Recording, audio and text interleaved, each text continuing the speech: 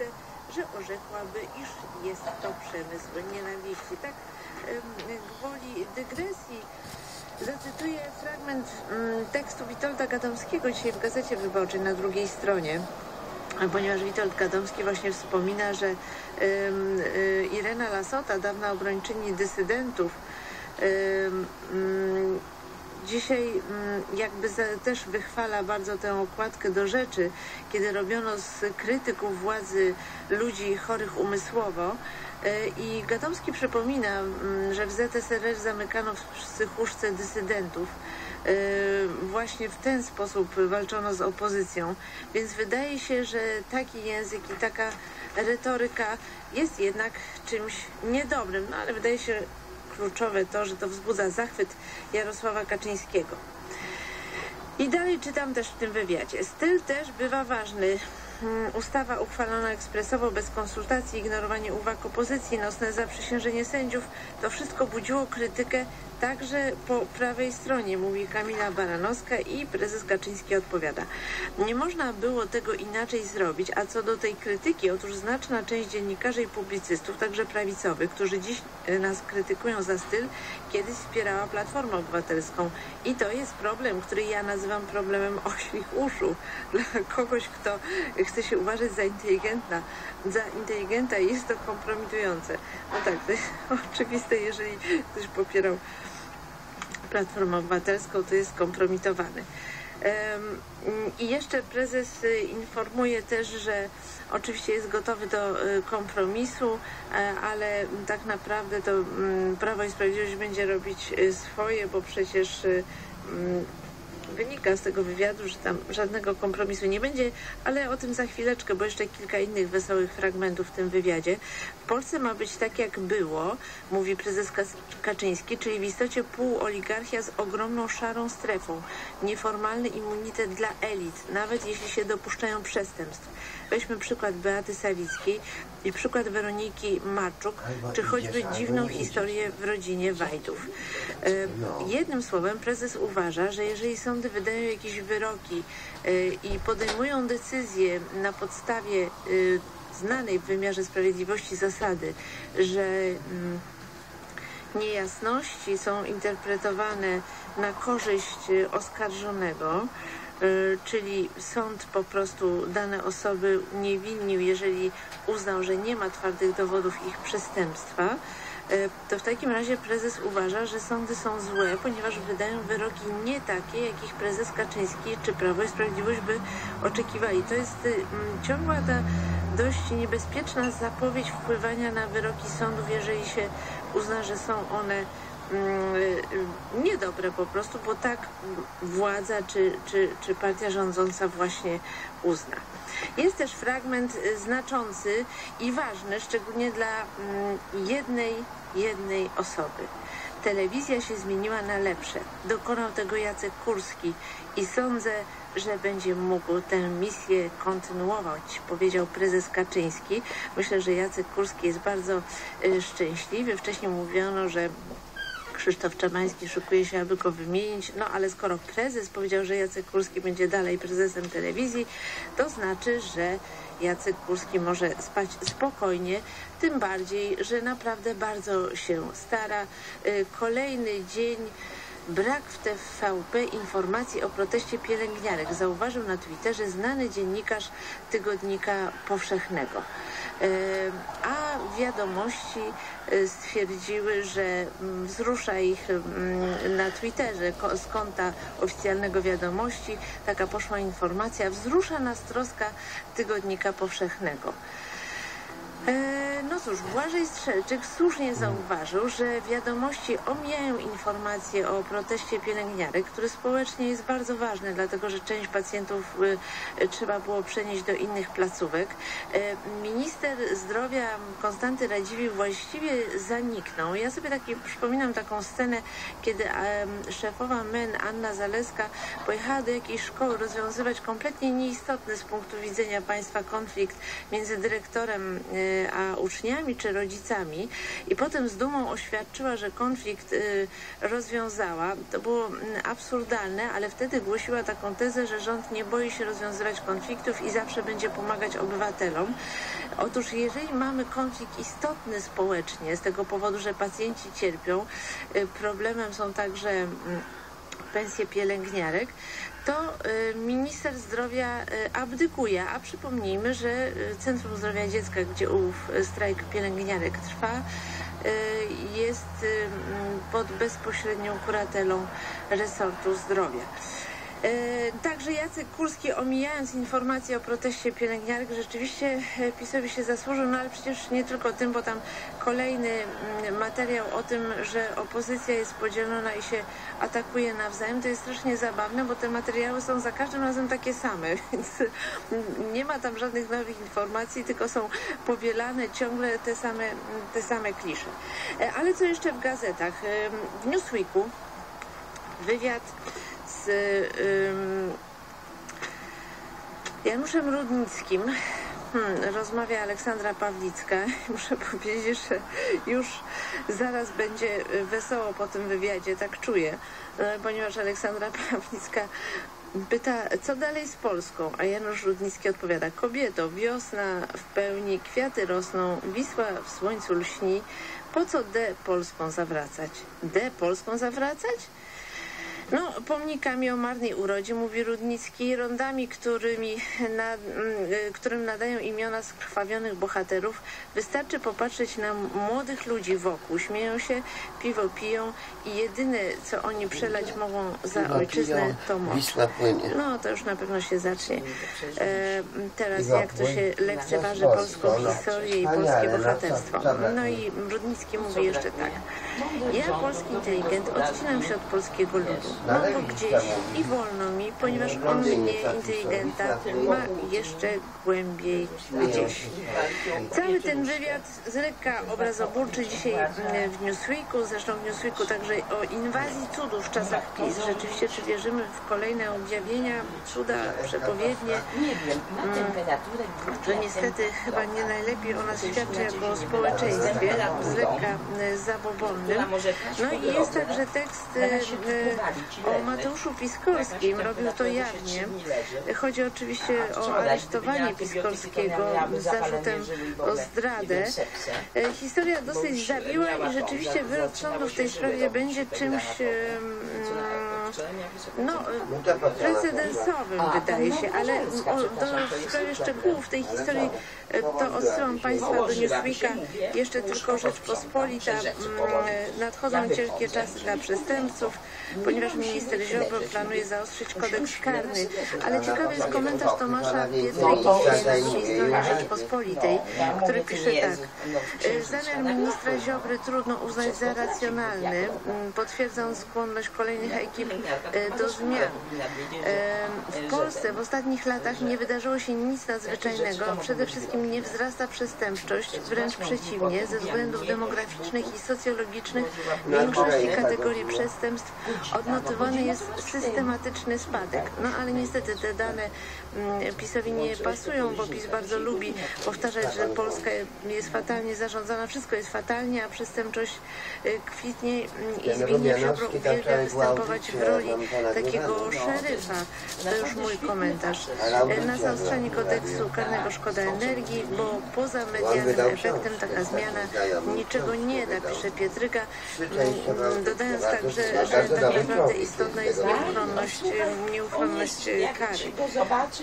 Biorę do ręki gazetę morską, taki dodatek gazecie wyborczej.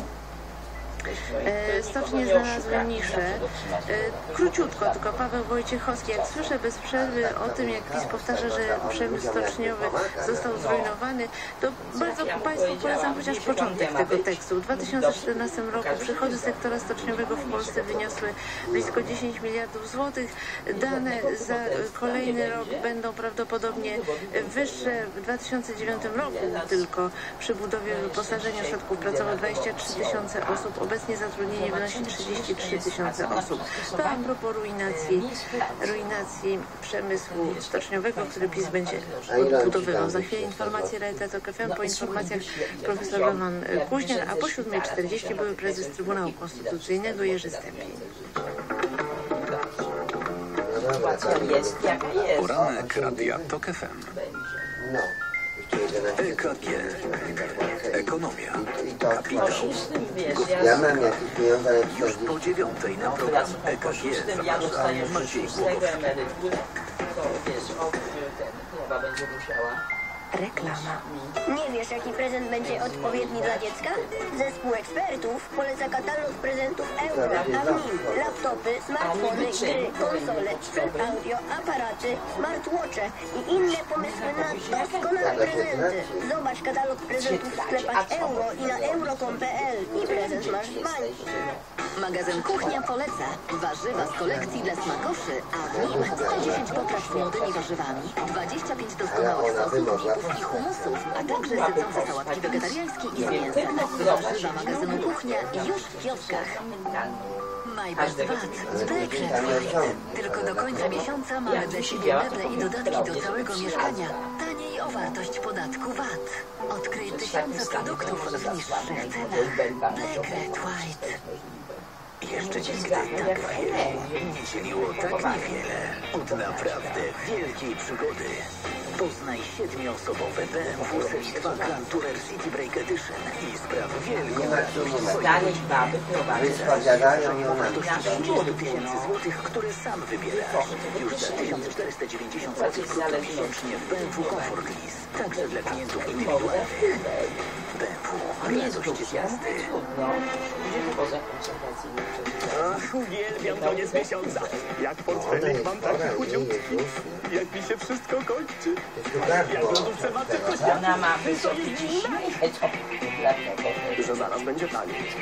Bo tylko wyjdzie jest super oferta na koniec miesiąca.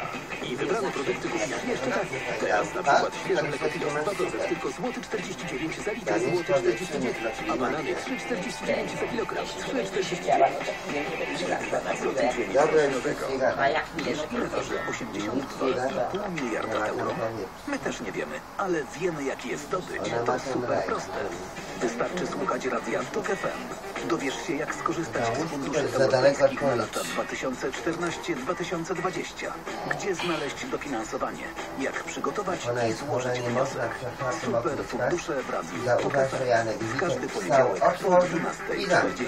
zamknął. Program Zamknął. współfinansowany ze środków Otwartego w ogóle nie było Europejskiej.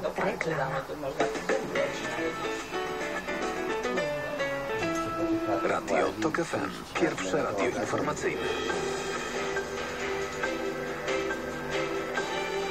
Informacje TOK FM. 7.21. Adam Ozga. Zapraszam. Strajkujące pielęgniarki z Centrum Zdrowia Dziecka w Warszawie zapewniają, że wciąż są gotowe do rozmów z dyrekcją. Terminu wznowienia negocjacji jednak nie ma. Wczoraj zostało one zerwane. Sekretarz generalny NATO przylatuje dziś do Polski. Dziś jutro Jens Stoltenberg spotka się z prezydentem Andrzejem Dudą, premierem Beatą Szydło, ministrem obrony narodowej Antonim Macierewiczem i ministrem spraw zagranicznych Witoldem Waszczykowskim. To w ramach przygotowań do lipcowego szczytu NATO w Warszawie. Z tego samego powodu jeszcze w tym tygodniu Polska odwiedzi szefowa unijnej dyplomacji Federica Mogherini. Turecki prezydent Recep Erdoğan krytykuje Iran, Rosję i Stany Zjednoczone za ich obecność w Syrii i brak woli odsunięcia od władzy tamtejszego prezydenta Bashar al-Assada. Przy okazji stwierdził, że Amerykanie mają terrorystyczne naszywki na mundurach. Chodziło mu o emblematy sił kurdyjskich. Aleksander Doba wyruszył w swoją trzecią samotną podróż kajakiem przez Atlantyk. Z Nowego Jorku na razie nie może wypłynąć na ocean. Na, rzecz, na rzece Hudson czeka, aż przejdzie tropikalna burza. Doba chciałby przypłynąć do Lizbony 9 września w swoje 70. urodziny.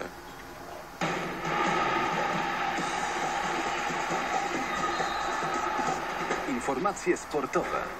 Kamil Gapiński, zapraszam. Piłkarze ręczni Vive Tauronu Kielce przeszli do historii polskiej oraz europejskiej piłki ręcznej. Jako pierwsza drużyna z naszego kraju wygrali Ligę Mistrzów. Tym samym stali się też pierwszym od 2004 roku zespołem spoza Hiszpanii oraz Niemiec, który triumfował w tych rozgrywkach.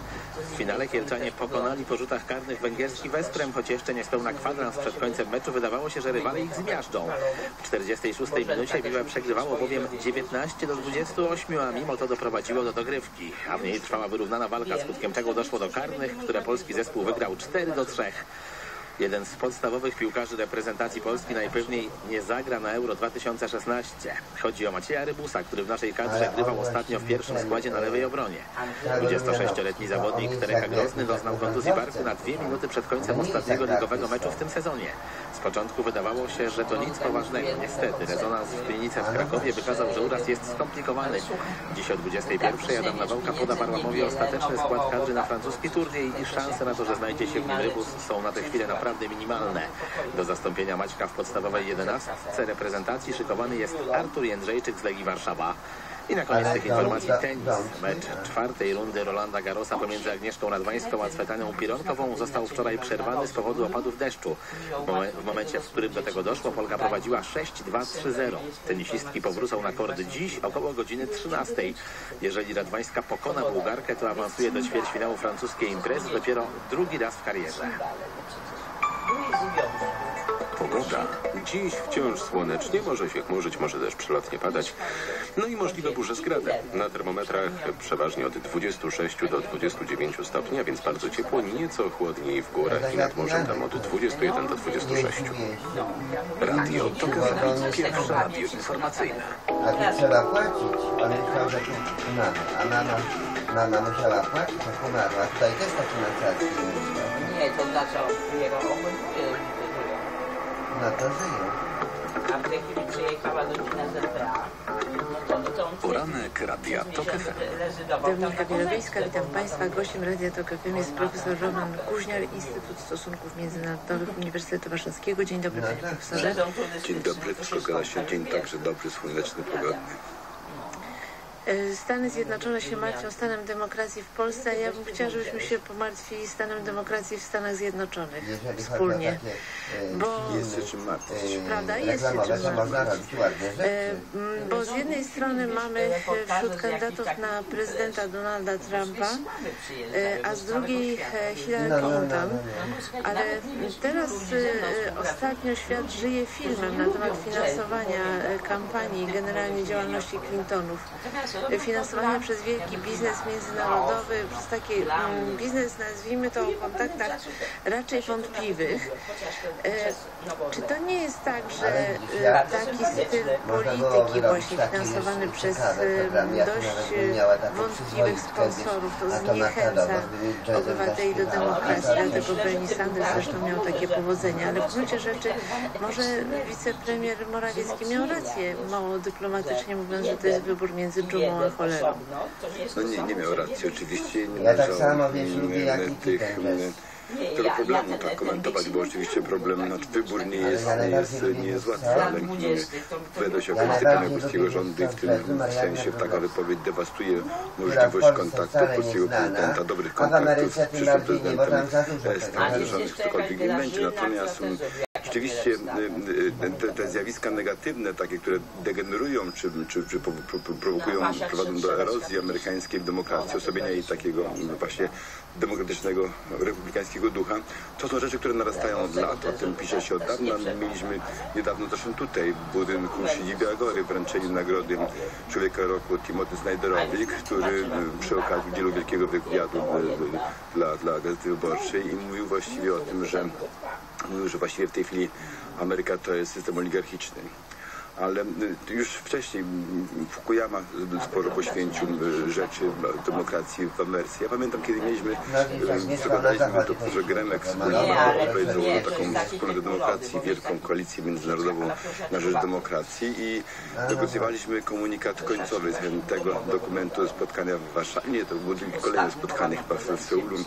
I w oryginale, który myśmy położyli na stół, strona polska, polska delegacja, był problem wpływu, niszczącego wpływu pieniądza, dużego pieniądza na demokrację. I Amerykanie ten, ten zapis, który oryginalnie był przy- przyjęty właśnie przy większej delegacji, systematycznie odstrzeliwali. Nie chcieli żadnej wzmianki, żadnej aluzji do tego, że pieniądze mają zły wpływ na demokrację. Teraz widzimy, że, że to jest prawda. I niewątpliwie to, co się w tej chwili dzieje, to powodzenie e, Donalda Trumpa to jest odłożony skutek kryzysu 2008, e, który pokazał słabość amerykańskiej demokracji, amerykańskiego systemu.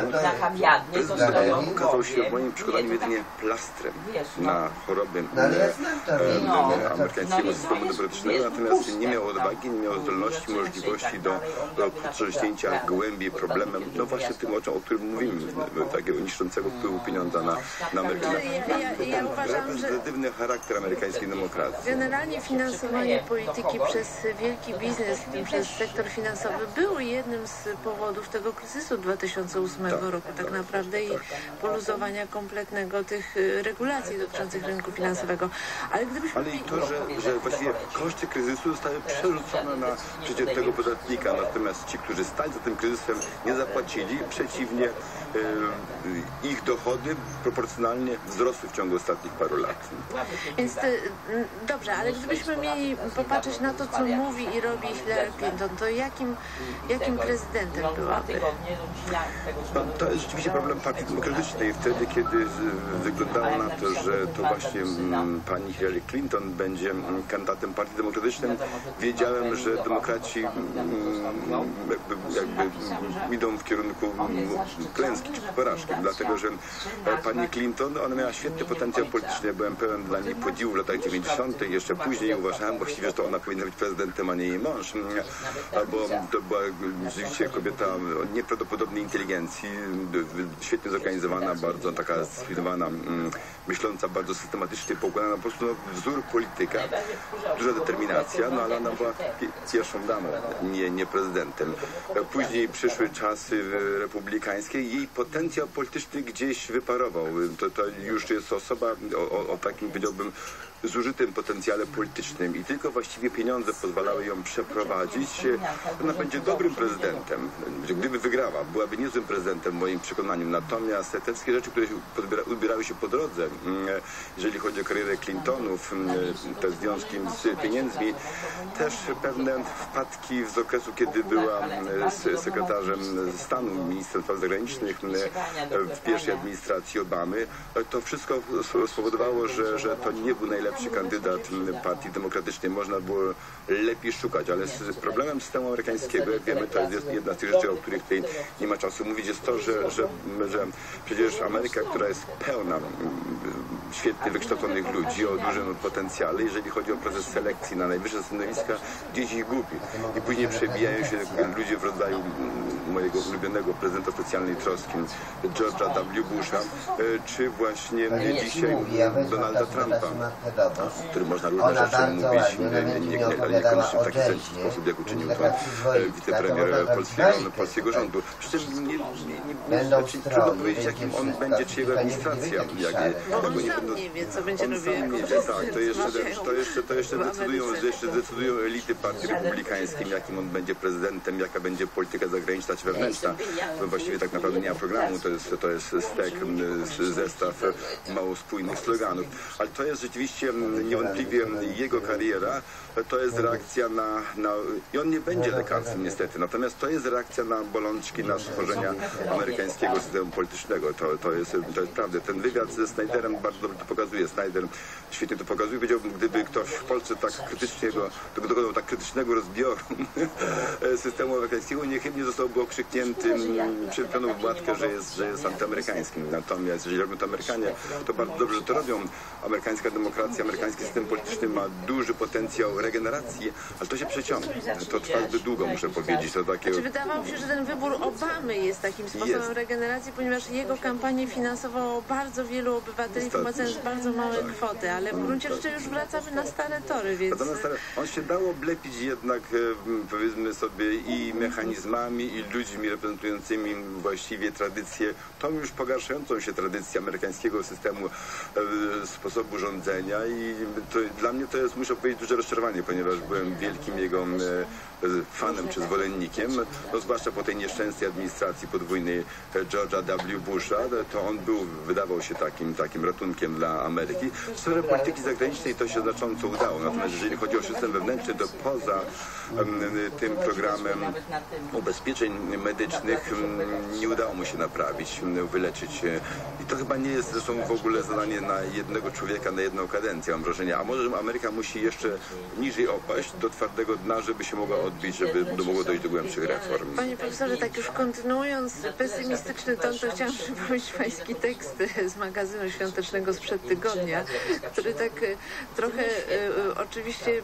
prostacko to przedstawią, ale właściwie jest niezwykle także pesymistyczny. W Europie nie chce nam się pracować. Patrzymy na protesty Francuzów, którzy nie chcą mm, w żaden sposób wykonać żadnego wysiłku. Tak to można interpretować e, z punktu widzenia mm, liberała gospodarczego, ale w Europie nie chce nam się pracować, rodzić dzieci nam też się nie chce. E, Jesteśmy właściwie w defensywie, borykamy się z różnymi kryzysami. Wygląda na to, że po prostu wspólnota euroatlantycka jest w odwrocie, że barbarzyńcy są w natarciu i musi nastąpić ten historyczny zwrot, który zawsze nas zasypał, że jesteśmy za bogaci, zbyt leniwi i, i musimy jednak zginąć, ustąpić e, miejsca tym bardziej mobilnym i zdeterminowanym. Znaczy to dotyczy bardziej Europy niż Ameryki. Ameryka to, to, to jest in, troszkę inny system. Owszem, w dalszym ciągu jest częścią wspólnoty euroatlantyckiej, częścią Zachodu. Przez kilkadziesiąt lat Zachodowi przewo- przewodziła, ale ona ma w, w sobie, powiedziałbym, te takie źródła e, dynamiki, odnawiania się w Europie. Rzeczywiście mamy do czynienia z takimi zjawiskami, które już, o których pisał wcześniej, dużo wcześniej Spengler, z czym w tym słynnym zmierzchu Zachodu e, z pierwszych dekad poprzedniego stulecia. W jaki sposób on zapowiadał ten zmierzch e, Zachodu, z tym, że to dotyczy w tej chwili jedynie Europy.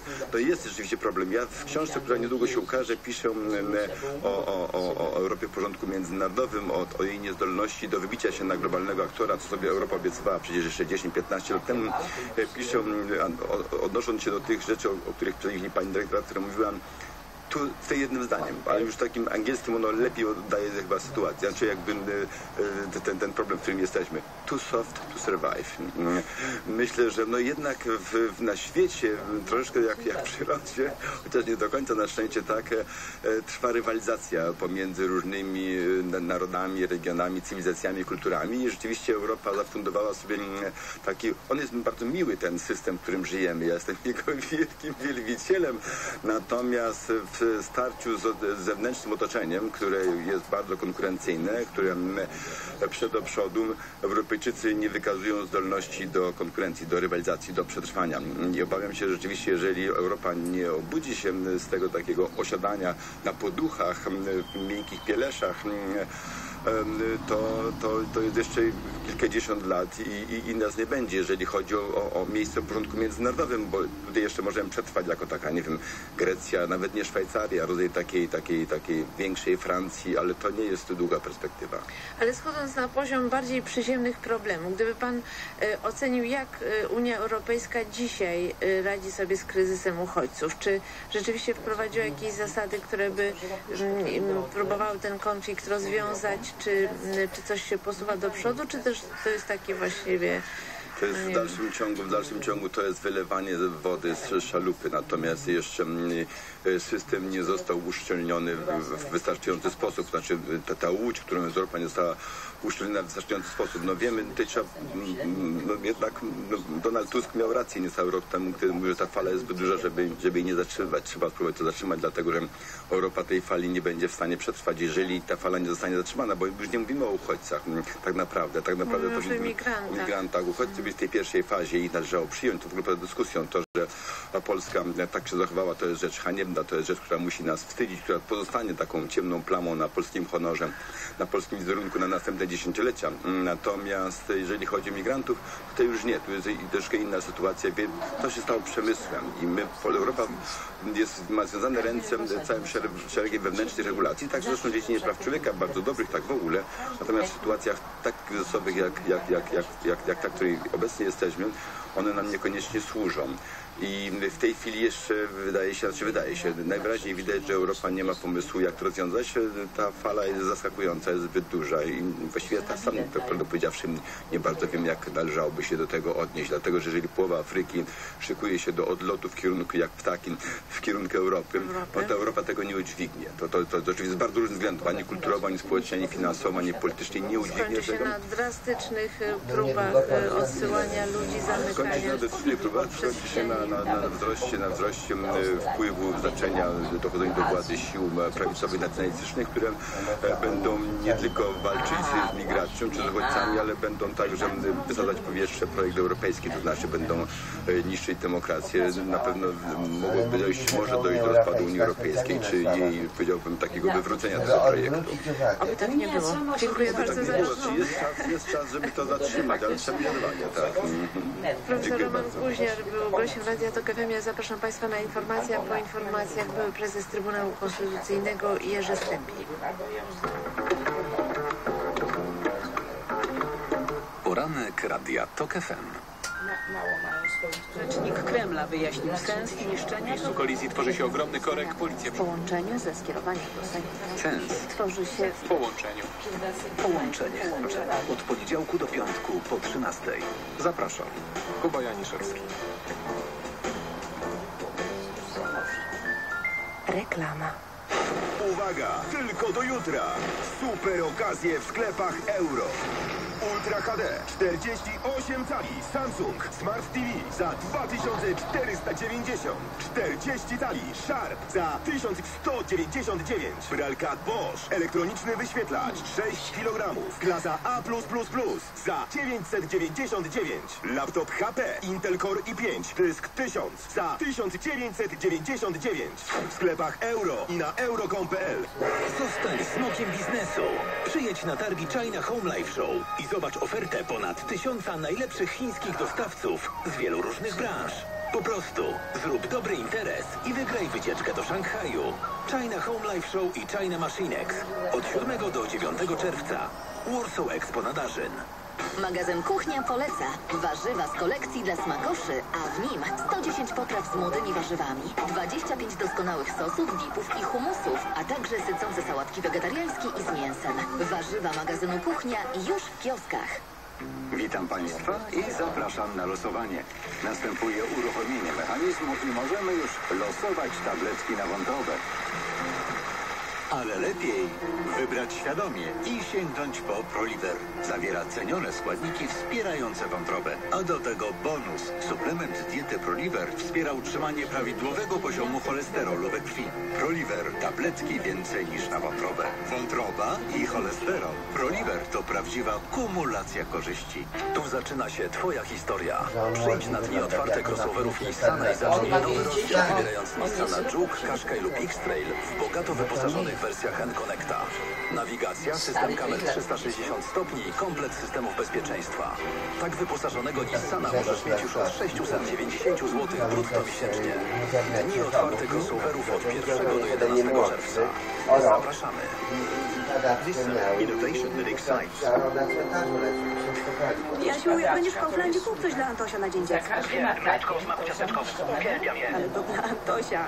Na pewno mnie poczęstuje. Teraz w Kauflandzie z okazji Dnia Dziecka mleczko Habs Angry Birds o smaku ciasteczkowym tylko 9,99. Więcej na kaufland.pl. Reklama. Radio TOK FM. Pierwsze radio informacyjne. Informacje TOK FM.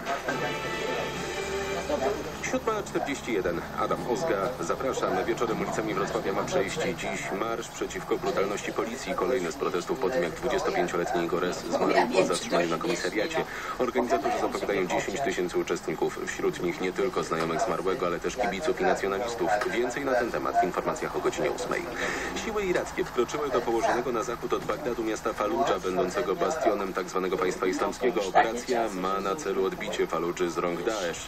W ostatnich dniach informowano o zacieśnieniu okrążenia wokół miasta. W piątek w nalocie bombowym zginął dowódca sił tzw. państwa islamskiego w Faludży. Słuchasz informacji FM. Każdego wieczoru Euro 2016 wieża Eiffla będzie podświetlana w barwach narodowych jednego z uczestników turnieju. Które państwo zostanie wybrane na kolejny dzień zależy od aktywności kibiców w mediach społecznościowych. Drużyna, której hashtag pojawi się danego dnia najczęściej wygrywa, a Polacy w takiej rywalizacji są całkiem nieźli, więc szansa na biało-czerwoną wieżę Eiffla nie jest mała a na tej Pogoda. Dziś wciąż dużo słońca, choć od czasu do czasu będzie znikać za chmurami i może padać.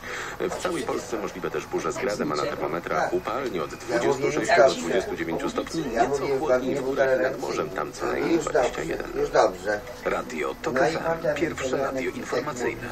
On to ogolony był, że na rowerze. A on leżał w grobie, jak, jaki ten Janek Witek Mądry. Słuchaj, a, bo, a, a ile to było przed zejściem Matka? No dwa miesiące. Tak, tak EKG. Słuchaj, Ekonomia, kapitał, odejść, gospodarka. Od poniedziałku do piątku po dziewiątej w Radiu TOK FM. Na no tydzień przed. Ale on był poszukiwany, bo adres e-mailowy Peugeot. małpa Wicielandia. Podarujący On do grobu wziął hasło. Perfect tak, Drive. Już Mareczek zapłacił 123 zł, bo to było płatne. A ona mówi tam w internecie, ja nie mogę podać hasła, bo to jest strzeżone, a on zna. jest Jerzy Wycofane to hasło. No, ja nie mogę tam wejść do środka, bo nie ma pierwszego hasła. E, pytanie jest takie, podczas Słowica opublikował taką propozycję kompromisu no, wobec Prawa Sprawiedliwości, która jest przedstawiona Komisji Europejskiej, żeby trochę zażegnać ten stan napięcia między polskim rządem a Unią Europejską. E, i według tej wersji e, roboczej on w e, internecie reklamował się konstytucyjnego miałby dopuścić do orzekania trzech dolarów wybranych na prawomocnie ale, ale przez poprzedni Sejm ja a zamian PiS będzie w przyszłości wprowadzał do Trybunału trzech sędziów wybranych prawidłowo przez poprzedni Sejm. Teraz nie mogą orzekać, bo tak prezydent odmawia ich zaprzysiężenia. Według tego dokumentu mieliby wchodzić na kolejne zwalniające się w Trybunale miejsca w grudniu roku, w czerwcu przyszłego roku i w maju 2020. 2019 roku. Jak Pan ocenia taką wersję kompromisu? No to jest e, wersja, która już się raz pojawiała. O ile pamiętam, wypowiedziana została przez jest e, jako statysta. pana e, Mówi, słuchaj, ten twój Mareczek pracuje w jakiejś ekipie, Michała. E, Kazimierza Michała Jasowskiego, czy to Ale mówi, okazuje się, że to wtedy był jakiś balon próbny chyba. Się sprawuje. Ja no w każdym bądź razie to jest absolutnie no, zasadzie do przyjęcia dla, że tak powiem, no, prawidłowości działania Trybunału, dlatego, że tak po pierwsze, co z tymi sędziami, prawda, którzy w pierwszej kolejności zostali wezwani, dlaczego, wy, wy, wybrani. Dlaczego nie mieli być dopiero wybie, wybierani w przyszłości? Poza tym ponownie nie mogą być wybierani, bo konstytucja tego zakazuje, więc w pewnym momencie ktoś powiedziałby, no dobrze, ale oni zostali już raz wybrani, to nie, nie możemy teraz ich wybierać. Po drugie, no, nie, mu, nie, ma, nie ma na stanowisku w ogóle o którym mówisz ogłaszania orzeczniku nauki konstytucyjnego poczynając od tego z roku 9 marca, to na ten temat się liczy. I trzecia, moim zdaniem najważniejsza rzecz, że ma się utrzymać w przyszłej ustawie zasadę, że y, orzeczenia mają zapadać większością dwóch trzecich głosów. Co to oznacza? To oznacza, że wystarczy mieć sześciu, że tak powiem w cudzysłowie, swoich sędziów, żeby zablokować każdy wyrok o niekonstytucyjności jakiejś ustawy. E, no bo e, jak się ma e, dwie trzecie, to jest dziesięć głosów, tak? E, ale wystarczy, że z tej dziesiątki będzie jedna osoba tak? i wtedy e, nie ma już tej większości dwóch trzecich dla orzeczenia koniecznego dla orzeczenia o niekonstytucyjności. To jest, e, to jest, no, trzeba uważać, bo chodzi z nimi ten morduje Ustaw przez Sejm, nawet jeśli będzie komuś kasy albo to nie mogłyby być zakwalifikowane. Tak a to prawda, że tak zadał ten Jarek. Sam się nie taka sytuacja dzisiaj jak w tej chwili. To o to chodzi. Wyraźnie widać, że chodzi o przeczekanie do jesieni, prawda, kiedy skończy się kadencja tak, e, pana no, profesorze Panskiego. A do Janka, e, no, tak, wyjmij to, tak. jakiegoś innego sędziego, który najprawdopodobniej szybko zostałby prezesem Trybunału, bo e, proponuje Janek też myślał, że miał wszystko za darmo, a ten dał do zrozumienia, że to nie jest za darmo, że on mu łaskę zrobił, że komputer każdy tylko zabiera. jeden głos, prawda? No, wtedy na i z pewno co najmniej trzy grupy posłów będzie w tej grupie. że mnie mu bo to ja bym jest żebyśmy, bo tak, rzeczywiście ja też mam wrażenie, że Janusz Ja nie dobra. żadnego kompromisu z Komisją Europejską, tylko raczej będzie to przedstawione na takiej zasadzie, no myśmy przedstawili kompromis, Ale ten Laskowski był dobrym człowiekiem. Ja mu tam sypnęłam 100 złotych, 50 i on mi wszystko do YouTube wrzucił. A potem pokazał, jak to się może robi. być taka, żeby do czegoś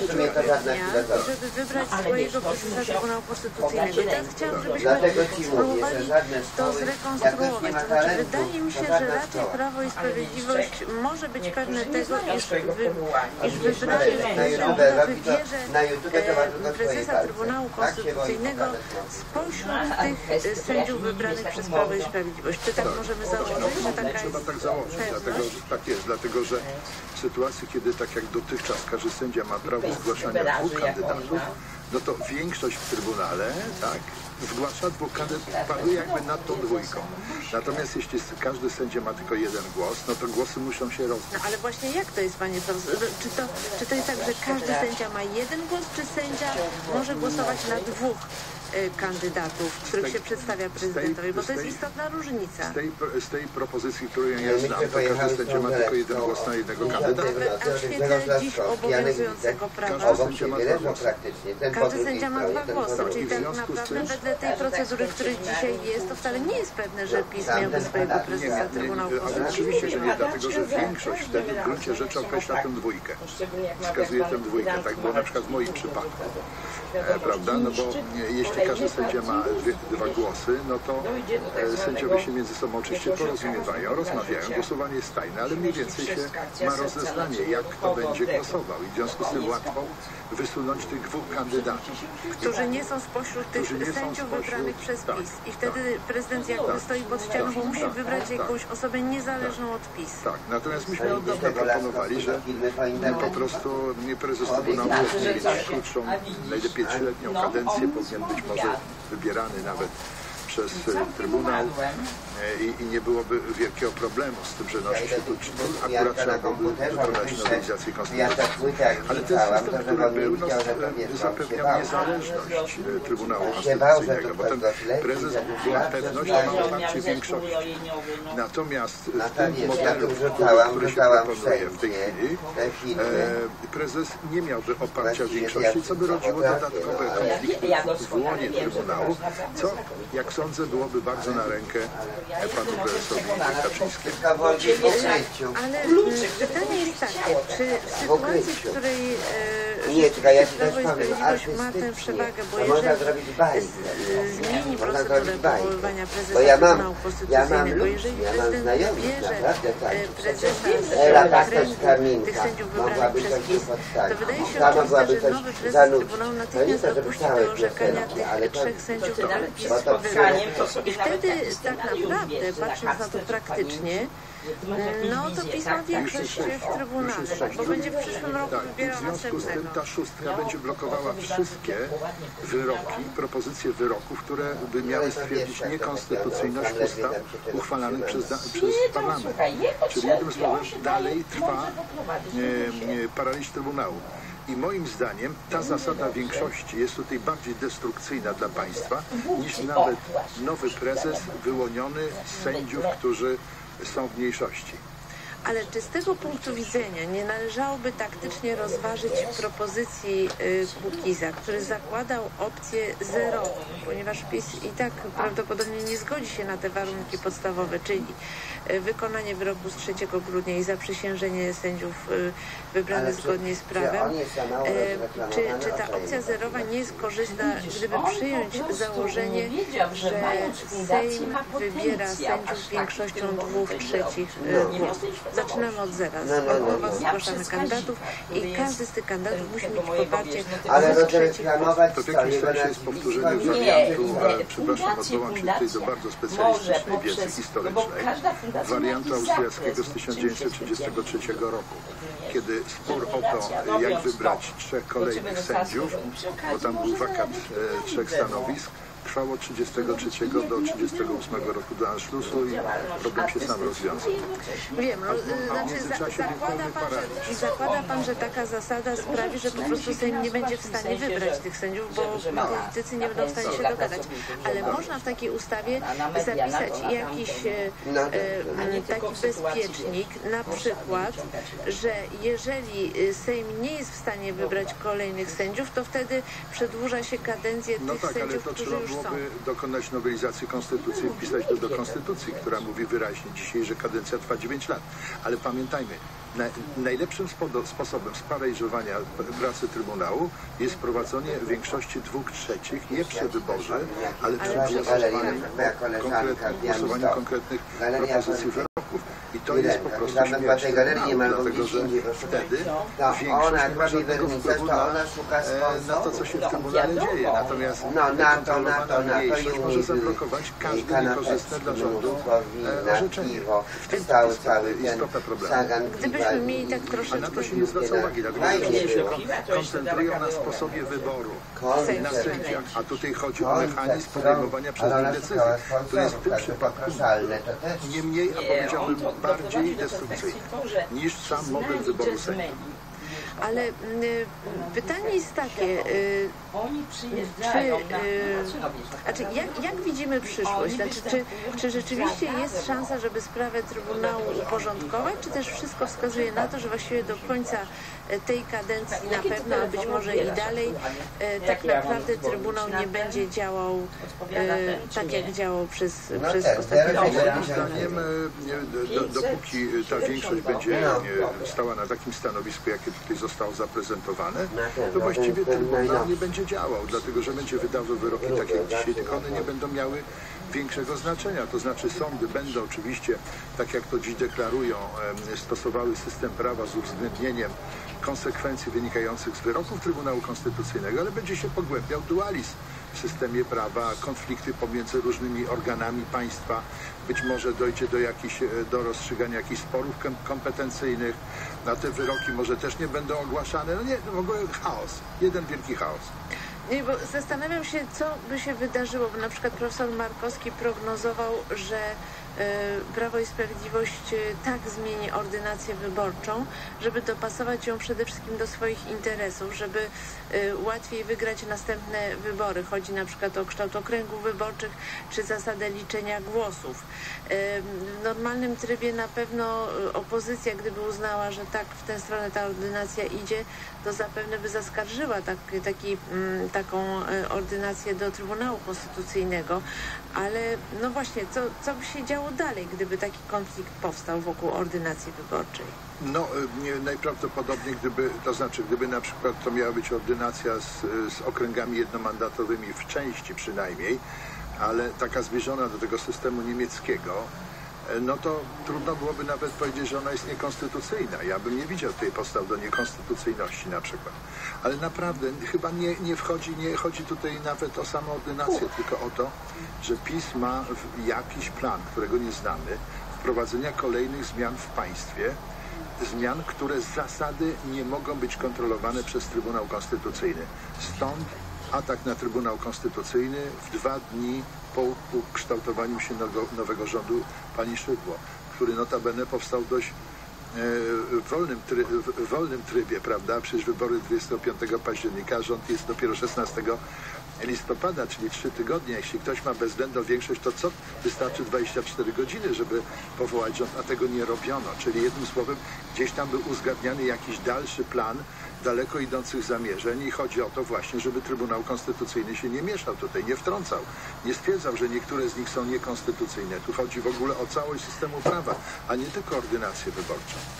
To prawda, ale czy y, gdyby profesor Rzepliński zapytał pana, co robić, jeżeli PiS proponuje taki kompromis, albo w tej wersji, która jest zaprezentowana tutaj w portalu w Polityce, albo w ogóle taka, taka suwakowa reguła, że raz jeden sędzia z tej trójki wchodzi, raz drugi sędzia, raz wybrany w e, poprzedniej kadencji, raz pisowskiej. To co powinien Rzepliński powiedzieć jest moim zdaniem tutaj w sumie poza grą, za wyjątkiem tego jednego elementu, dopuszczania sędziów lub nie do No, ale orzekania. to te, wedle tego y, kompromisu to właśnie profesor Rzepliński musiałby podjąć decyzję o dopuszczaniu dopuszczeniu, także tak. tych sędziów pisowskich. Ja, ja uważam, że ta Orzekania. propozycja to jest żadna propozycja. Mamy tutaj jasne stanowisko Komisji Weneckiej, która podpowiada, w jaki sposób należy ten konflikt rozwiązać. I Za należy, bankiem moim zdaniem, niemieckim. ja przynajmniej Nie, bym ale był jednak prezesem nie Trybunału, dzisiaj, bo po pierwsze, w ogóle bym nie dopuścił żadnych sędziów do orzekania e, z tej, z tej e, piątki nowo wybranej, dlatego że ona, jak z- zdaniem Trybunału Konstytucyjnego i słusznie, zawiera w sobie podstawowy błąd, prawda? Te, te, te wybory zostały dokonane w sposób nieważny. To jest po pierwsze. Y, A po drugie... No, ale mówi się, że to, ty, ci sędziowie, którzy zostali wybrani przez Prawo i Sprawiedliwość w, w następnej kolejności, zostali prawidłowo wybrani. Nie, mówię o tych trzech nie, nie, sędziach, którzy... Nie, nie, nie, nie, nie. Tu chodzi w ogóle o całą piątkę, dlatego Trybunał Konstytucyjny e, orzekł, e, prawda, że e, ta, ta, ta piątka została wybrana nielegalnie. Była podstawa do wybrania dwóch sędziów, tak, a wybrano pięciu, uchylając jednocześnie uchwałę o wyborze tych poprzednich e, sędziów, którzy zostali wybrani jeszcze w październiku. Także tutaj e, żaden z tych sędziów z tej piątki nowo wybranych nie jest wybrany bez wady prawnej to wynika trzech przynajmniej orzeczeń Trybunału Konstytucyjnego. To zostawmy. Y, To w każdym razie pana zdaniem profesor Rzepliński nie powinien wchodzić w żadne układy z politykami w tej chwili, po prostu Absolutnie. trzymać się tego stanu prawnego, Tak jest, jaki jest. tak jest, tak. Bo każdy tego rodzaju, przyjęcie tego kompromisu pogarsza sytuację Trybunału Konstytucyjnego, bo jeszcze teraz jest jakby takie moralne prawo, stoimy i bronimy Konstytucji. W sytuacji, kiedy akceptujemy już Częściowe łamanie. częściowe łamanie, no to jak mówi fizyka współczesna, jeśli zdarzy się coś raz, to się zdarzy wielokrotnie, nie, nieskończenie wiele razy. Dziękuję bardzo za rozmowę. Gościem Radia Tok FM był Jerzy Stępień, były prezes Trybunału Konstytucyjnego. Ja zapraszam Państwa na informacje, a po informacjach Bogusław Hrabota, Rafał Galukin i Piotr Sępka. Poranek Radia TOK FM. Reklama. Uwaga! Tylko do jutra! Super okazje w sklepach euro. Ultra HD 48 cali. Samsung Smart TV za 2490 40 cali. Sharp za 1199 Pralka Bosch. Elektroniczny wyświetlacz. 6 kg Klasa A+++ za 999 Laptop HP Intel Core i5 Dysk 1000 za 1999 W sklepach euro i na euro.com.pl Przeszkadzałem podczas ważnych prezentacji w pracy. Podczas randek zalewałem czoło, dłonie i całe ciało. Byłem złośliwy, natrętny i nie można było się mnie poznać. Aż pojawił się on, bez biblok w tabletkach. Te jego wyciągi ze skrzypu, pokrzewy, melisy. Uuu! No i strzałki lekarskiej, która szybuje po cenie na całej powierzchni ciała. Bez biblok zadziałał od środka i zablokował mnie po całości. To przez niego jestem bezradny. Ciebie też dręczy pot. Weź suplement diety Perspiblok. Tabletki Perspiblok i nie martw się potem. 20 litrów? Paliwo Miles Plus? Tak, na Miles to jadę przecież do 3% dalej. Teraz też taniej. Z rabatem nawet do 40 groszy za litr. W programie Ekstra. Wspaniale. Miles. Tylko na stacjach Statoil. Gdzie na studia? Ja wybieram Pomorski Uniwersytet Medyczny w Szczecinie. Najlepsza uczelnia w województwie zachodniopomorskim uruchamia nowe kierunki na Wydziale Nauk o Zdrowiu. Psychologia zdrowia oraz administracja i zarządzanie w ochronie zdrowia. Dołącz do najlepszych. Wybierz Pomorski Uniwersytet Medyczny w Szczecinie. Szczegóły www.pum.edu.pl Na, na świecie jest po cztery i na Oszczędny, wytrzymały, dwukrotnie lepszy od innych izolacji oraz odporny na gryzonie, krzywy i pleśń. Sprawdź na superdocieplenie.pl i wygraj Toyota Yaris. Hermano, super docieplenie polskiego domu. Syrenka z Poznania, a Neptun z Krakowa? Hmm, quiz poszedł nie tak. Zacznij od nowa. Jeśli znasz swoje miasto i wiesz, co je wyróżnia, wejdź na www.metrocafe.pl. Weź udział w zabawie, rozwiązuj quizy, zgarniaj nagrody.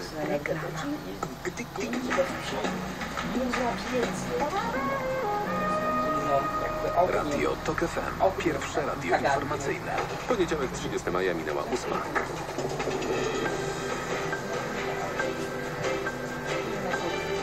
Informacje TOK FM. Marta Perchuć-Burzyńska i Adam Ozga. Strajk do skutku zapowiadają pielęgniarki z Centrum Zdrowia Dziecka w Warszawie. Wczoraj rozmowy zostały zerwane i nie ma na razie terminu kolejnych negocjacji. Przyjaciele zmarłego na komisariacie mężczyzna, ale też kibice i narodowcy. 10 tysięcy osób ma wziąć udział w dzisiejszym marszu przeciwko brutalności policji we Wrocławiu. Strajki i protesty paraliżują Francję, a euro już za niespełna dwa tygodnie. Będzie będziemy strajkować do odwołania, informują pielęgniarki z Centrum Zdrowia Dziecka w Warszawie, które domagają się podwyżek i poprawy warunków zatrudnienia w placówce. Ich protest trwa od blisko tygodnia, kiedy zdecydowały się odejść od łóżek małych pacjentów na większości oddziałów. Wczoraj rozmowy z dyrekcją zostały ponownie przerwane. Terminu nowego spotkania jeszcze nie wyznaczono. Tym tematem zajmuje się Tomasz Węskę. Tomku, dzień dobry. Dzień dobry. Powiedz, jak duże są rozbieżności między stanowiskami pielęgniarek i dyrekcji? No, w dużym uproszczeniu ta rozbieżność wynosi około 110 zł. Pielęgniarki domagają się 200 zł. Obiecano, że dyrekcja proponuje 90 i tłumaczy się trudną sytuacją finansową placówki. No to rzeczywiście trudno ignorować. Centrum Zdrowia ma ponad 300 milionów złotych długu. Atmosferę rozmów psuje to, że obie strony oskarżają się o nieczyste zagrania. Pielęgniarki twierdzą, że dyrekcja składa przed dziennikarzami inne propozycje niż w sali negocjacyjnej. Dyrekcja, że pielęgniarkom zależy tylko na pieniądzach. Te zaprzeczają, podkreślają, że oprócz podwyżek walczą również o to, by w szpitalu jak najszybciej zatrudnić około 70 nowych sióstr. 70, bo tylu brakuje, by codziennie, jak mówią, zapewnić pełną obsadę, a pacjentom opiekę, bo z powodu niskich pensji dla nowo przyjmowanych pielęgniarek w centrum niższych nawet niż w innych warszawskich szpitalach, chętnych do podjęcia pracy po prostu nie ma. Dziękujemy bardzo. Z nami był Tomasz Węsk. 10 tysięcy osób ma dziś wziąć udział w marszu przeciwko brutalności policji we Wrocławiu. To dalszy ciąg protestów po tym, jak 25-letni Igor S. zmarł po zatrzymaniu na komisariacie. Małgorzata Waszkiewicz. Organizatorzy zapowiadają, że w marszu mają wziąć udział przyjaciele i znajomi zmarłego Igora S., ale też kibice, organizacje patriotyczne i nacjonalistyczne. Manifestacja została zgłoszona w magistracie jako protest przeciwko brutalności działań policji w Polsce. Marsz rozpocznie się o godzinie 18 na Placu Solnym, a potem protestujący przejdą ulicą Ruską, Świętego Mikołaja przez Plac Jana Pawła II i Legnicką. Manifestacja zakończy się przed komisariatem na ulicy Trzemeckiej, gdzie dwa tygodnie temu zmarł 25-letni mężczyzna. Marsz ma się skończyć o godzinie 23. Wrocław, Małgorzata Waszkiewicz. TOK FM. 54 osoby zginęły, ponad 730 zostało rannych w 610 wypadkach, do jakich doszło w długi weekend na polskich drogach. Od środy policjanci zatrzymali też ponad 1800 kierowców za jazdę pod wpływem alkoholu. Słuchasz informacji TOK FM. Irackie siły wkroczyły do Faludży. Operacja ma na celu odbicie miasta z rąk dżihadystów. W piątek w nalocie bombowym zginął dowódca sił ISIS w Faludży. Co najmniej 700 osób mogło w ostatnich dniach utonąć na Morzu Śródziemnym w czasie przeprawy z wybrzeży Libii do Włoch. Według niektórych źródeł zatonięć było jeszcze więcej. W trzech osobnych wypadkach życie mogło stracić nawet 900 osób. Z nami już Dionis Turis. Dzień dobry. Powiedz, czy wiemy, kim są ofiary tych katastrof? No, we wszystkich trzech przypadkach byli to uchodźcy głównie z Erytrei, Sudanu i Nigerii, czyli miejsc, gdzie albo rządzą dyktatorzy, albo o władzę dopominają się dżihadyści, gdzie na masową skalę łamane są prawa człowieka. Obywatele tych krajów najczęściej nie umieją pływać, co powoduje, że kosztowna podróż przez morze na zdezolowanej łodzi jest dla nich tym bardziej niebezpieczna. Do zatonięć No ja czekam, dniach, nawet Ale ponieważ jednak nie pojadę, bo to jest za daleko na Children to, to wtedy się umówimy na przystanku na Wielkich No, no. Nimi wypłynęły dwie łodzie. Jedna większa ciągnęła drugą mniejszą. Było na nich odpowiednio 500 i 400 osób. Po kilkunastu godzinach mniejsza łódź zaczęła nabierać wody i w końcu zatonęła. Ludzie wyskoczyli za burtę i próbowali dopłynąć do drugiego statku. Tylko nielicznym to się udało. Wśród tych, którzy utonęli, było wiele kobiet i małych dzieci. E, Na miejscu szybko zjawili się ratownicy z włoskiej marynarki i organizacji pomocowych. Żeby wyciągnąć wszystkie ciała, używali rybackiej sieci. Ile dokładnie osób zatonęło w tej katastrofie i dwóch kolejnych nie wiemy. Mówi się, że co najmniej 700. E, Służby próbują to ustalić, rozmawiając z tymi, którzy ocaleli. Dziękujemy bardzo. To był Dionis Turis, a my dodajmy jeszcze, że od początku roku z Libii do Włoch dotarło ponad 40 tysięcy osób. 1700 utonęło lub jest uznanych za zaginione.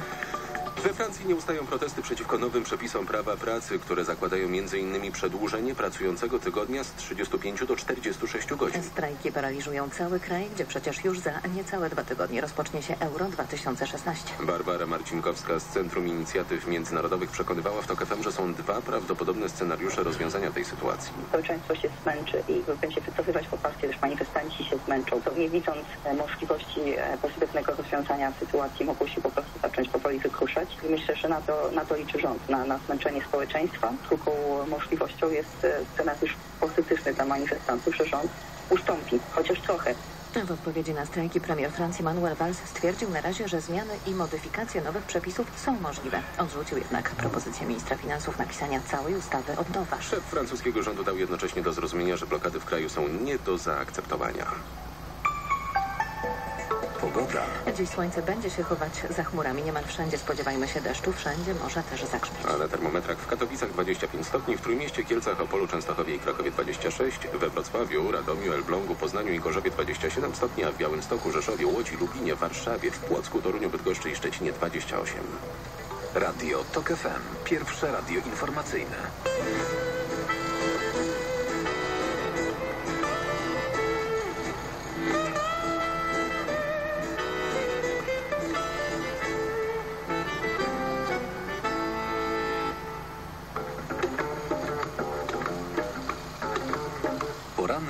Radia TOK FM. Dominika Wielowiejska, witam Państwa i zapraszam na godzinę komentatorów, a w studiu y, Bogusław Hrabota, redaktor naczelny Rzeczpospolitej, Witam Państwa, dzień dobry. Rafał Kalukin, Newsweek Dzień dobry. y, i Piotr Semka, Tygodnik do Rzeczy.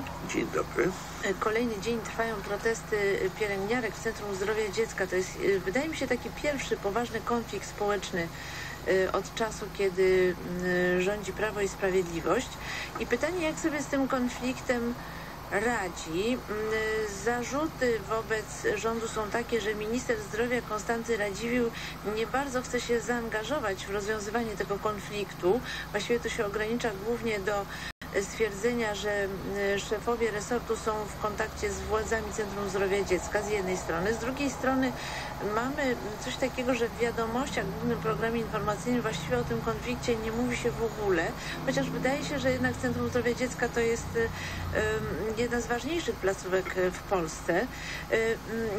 I jednak zawsze tutaj mamy taką coś takiego jak, jak zamianę ról. Znaczy, jak się już jest w rządzie, to mówi się, że nie ma pieniędzy, a jak się jest w opozycji, to się stoi po stronie pielęgniarek. Bogusław Robota. To jest zupełnie normalne. Ja bym też absolutnie nikogo